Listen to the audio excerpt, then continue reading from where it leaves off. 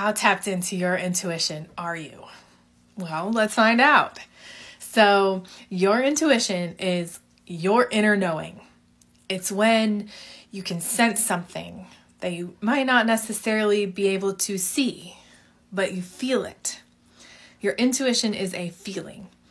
And being tapped into it means that you can start to feel things that aren't necessarily there, but you understand how to go through them, how to grow through them, and how to get through things.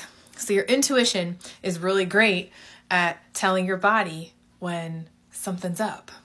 So, really great exercise to see how tapped into your intuition you are. One second. Okay, we're on new filter mode, black and white, so you can't tell what actual color this candle is.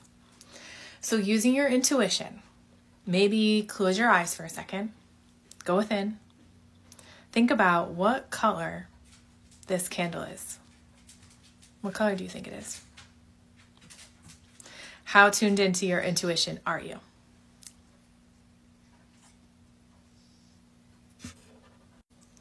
The color of the candle is blue. Did you guess it? Did you tap into your intuition? Really think about it, really feel what color could this candle have been? Well, if you guessed blue, you're very tapped into your intuition. If you didn't guess blue, I'm going to make some more videos for you to try again and really start to practice going within and tapping into that intuition that you have because your intuition is going to guide you every single day. You got this.